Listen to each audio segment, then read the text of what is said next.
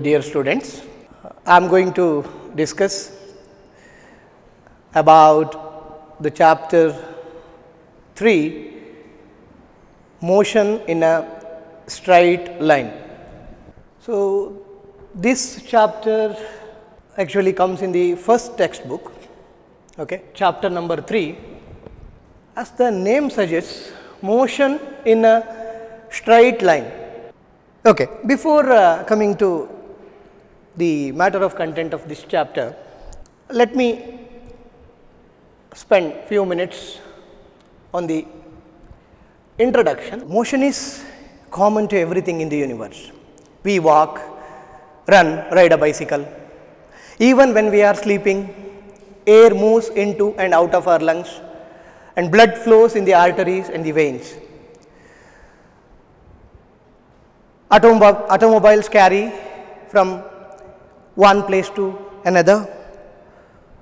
Planes fly in the sky. So, earth rotates once in every 24 hours and once around the sun in one year. So, now a natural question may arise in your mind what is motion? So, motion is nothing but change in position of an object with time. Now, the question may arise how the position or how does the position change with time? In this chapter, we are going to describe motion in a straight line. So, as you all know straight line. So, motion is going to take place in a straight line that is the matter of content of this chapter. To describe motion in a straight line, we develop concepts like velocity and acceleration. Okay. And uh, for uniformly accelerated motion, we develop certain equations, they are uh, named as kinematic equations for uniformly accelerated motion. Okay. Then we are going to discuss something about relative velocity to understand the relative nature of motion. Okay. That is all about uh, the matter of content of this chapter. Okay. So, throughout our chapter, we are going to restrict ourselves to motion in a straight line that is change in position of an object with respect to time is called as motion. That motion is going to take place along a straight line. We are going to restrict ourselves to motion in a straight line in this chapter. In the next chapter, chapter 4, we are going to discuss about motion in a plane. Okay, that is actually uh, motion in a plane. As the name suggests, motion will be restricted to a plane. That is two dimensional motion. This is actually one dimensional motion. Okay, throughout our discussion, we are going to treat objects as point objects. So, the objects which are in motion as point objects. This approximation is valid so far when an object covers large distance in a reasonable duration of time compared to its size. So, when its size is negligibly small compared to the distance travelled by it, we can treat that as point objects we are going to treat objects as point objects or point objects. Okay? The size of the object is negligibly small compared to the distance travelled by it in a reasonable duration of time. In our real life day to day example, lot many uh, objects uh, will be coming under this category or we can treat uh, many objects as point objects without much error. So, in this chapter I am going to introduce you three important terms position, path length and displacement.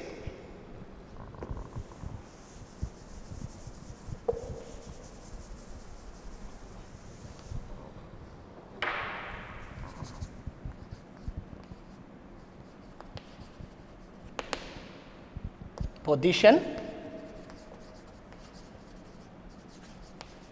path length,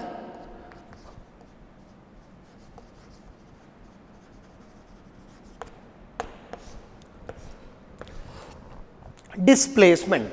So, now as I mentioned motion is nothing but change in position of an object with respect to time. Now, question arises how does the position of an object change with time? Now, to specify the position of the object, okay, we need to take a frame of reference. Now, I am going to spend few minutes on position, how to specify the position of the object, then I am going to uh, discuss path length and displacement.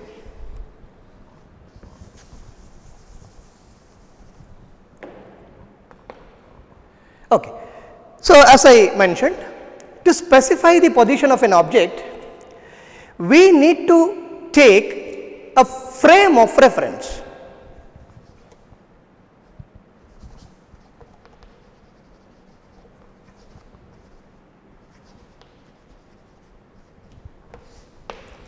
Frame of reference. What is frame of reference? So, frame of reference is a set of axes okay, and a reference point. So, this frame of reference essentially includes a reference point with a set of axes. So, more conveniently we can choose a Cartesian coordinate system okay, which consists of three mutually perpendicular axes namely x, y and z. This is a Cartesian coordinate system which consists of three mutually perpendicular axes namely x, y and z. And the intersection of these three axes is called as reference point. I will denote that intersection point as O. I will take this as reference point. Okay. O as the reference point. These are the three axes, mutually perpendicular axes. And to measure the time, we position a clock. Okay. So, along with the clock, this Cartesian coordinate system okay. So, will be treated as a frame of reference. With respect to a frame of reference, you are going to specify the position of the object. This is very very important. If you want to specify the position of an object, you need a frame of reference. So, more conveniently we choose a Cartesian coordinate system as I explained okay and to measure the time we can position a clock that is all. So, with respect to that frame of reference you are going to specify the position of the object. As I said motion is nothing but change in position of the object with respect to time. Yes that is very clear very simple change in position of an object with respect to time. Now, if if See there are three axes I have chosen. Okay. So, there will be three coordinates denoted by small letters x, y, z. These are the coordinates which are going to specify the position of the object. If the coordinates specifying the position of the object changes with respect to time, the body is said to be in motion. If one or more among the coordinates specifying the position of the object changes, the body is said to be in motion.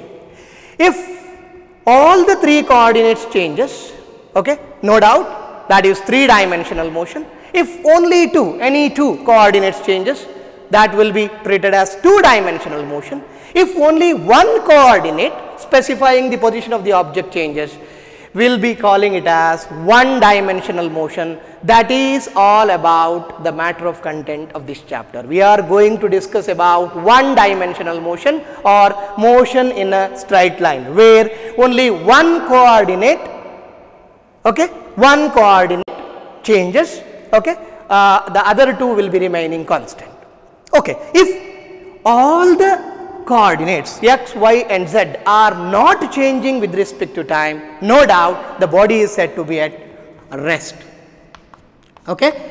So, motion position changes with respect to time, rest position of the object is not going to change with time. If position changes with time, no doubt the position coordinates are going to change with time. If position is not going to change with respect to time, no doubt body is said to be at rest. In other words, position coordinates are not going to change with respect to time. This is all about the two terms motion and rest. Okay? Motion and rest. Okay. Now, you can give examples for one dimensional motion, two dimensional motion, three dimensional motion.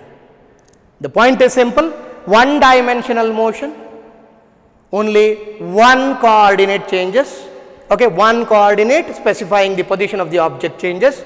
So that is one dimensional motion okay. So if two coordinate changes two dimensional. If three coordinate changes okay three dimensional motion okay.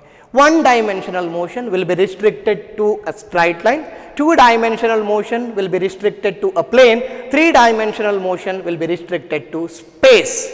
Okay. So, the idea is simple, you can think of a corner, okay, corner of the room, okay, you can think of three axes, okay, upward, you call any one as x, okay, mutually perpendicular as y and the other one as z, x, y and z. The intersection of the intersection of the three mutually perpendicular axes will be treated as reference point. Uh, we, we basically denote that point as O. Okay. So, this is how you can imagine uh, the Cartesian coordinate system or uh, about three uh, mutually perpendicular axes and the reference point. Okay. With respect to that coordinate system, we are going to specify the position of the object. So, while giving examples for one dimensional motion, the point okay, is very clear.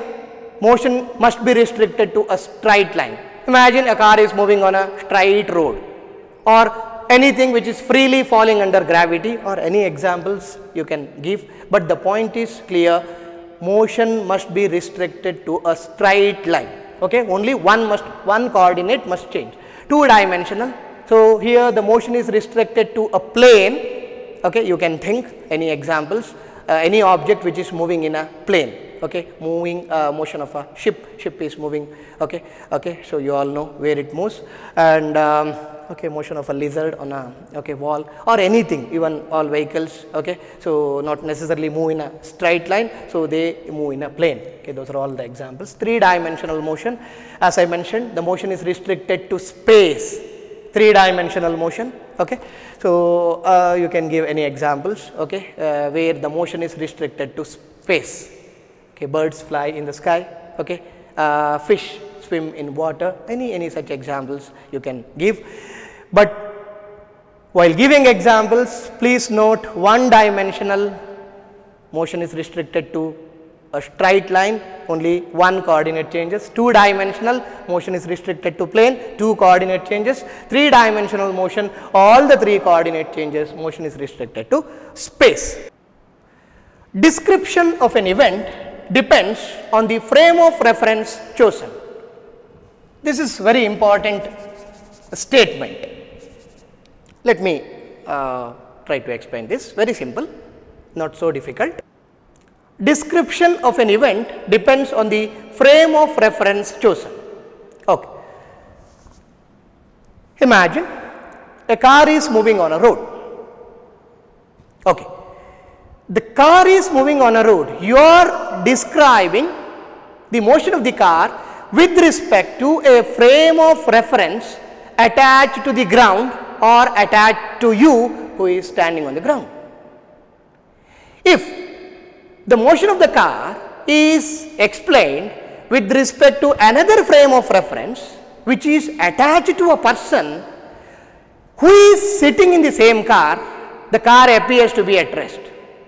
I hope I made the point clear. Description of the same event okay, depends on the frame of reference chosen. Motion of the car, car is moving with respect to a frame of reference attached to the ground or with respect to ground car is moving but with respect to a person who is sitting inside the car, car is not moving, car is at rest. So, this is all about this statement description of any event depends on the frame of reference chosen. And in one dimensional motion Okay. So, as I mentioned only one coordinate specifying the position of the object changes. Okay. So, you need to choose only one axis say x axis. Okay. So, not necessarily x you can choose y or z that is left to you. Say I will choose x axis okay. And when you choose x axis, the path of the object will be coinciding okay, with the x axis that is path will be along the x axis. Okay. Now, I am going to tell you how to specify the position of the object. Okay. So, as I mentioned we are going to restrict ourselves to one dimensional motion or motion in a straight line.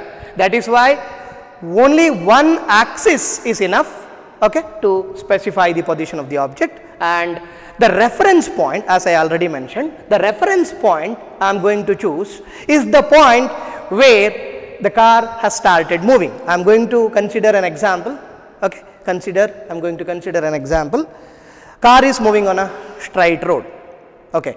So, the point of reference as O is the point where the car has started moving okay like this. I will choose an axis. Okay, imagine this is the point. Okay, this is the point from where the car started moving. I will denote this point as O. That point is called as, as I mentioned, this is a reference point. Okay. So, for our convenience, or this is the sign convention we are going to follow here while specifying the position of the object. The position of the object towards right will be taken as positive and position of the object towards left will be taken as negative. Okay. So, this is towards right, this is towards left. Okay. If you go this way, position is taken as positive. Okay. If you go this way leftwards, the position is taken as negative work. Okay, so let it be uh, x axis, okay, positive side. Okay. So, this will be negative side, negative x. Okay. So, axis capital letter, okay, coordinates small letter, okay, small x, small plus x, small minus x. Okay, fine.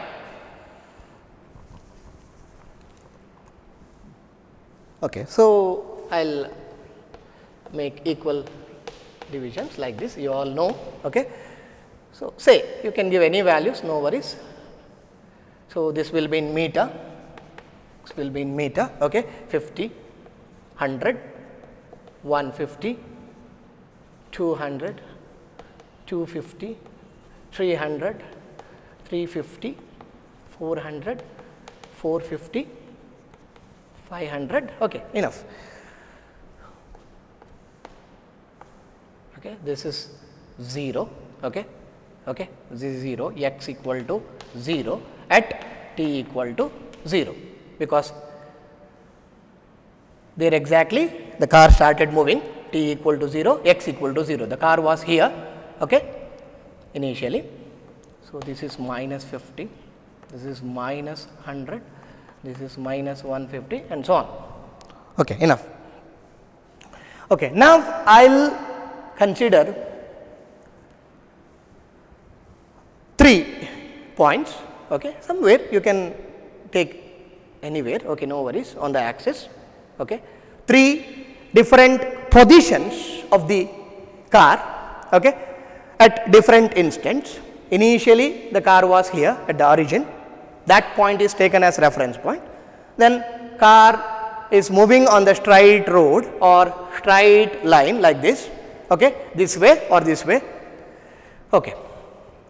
So, I will consider this as one point, okay. I will denote this point as P, the position of position of the car at one instant, okay. This point as Q, this point as R, okay. P, Q and R are the three different positions of the car at three different instants. Okay. Now, first let us let us specify the position of the car three different positions P, Q, R.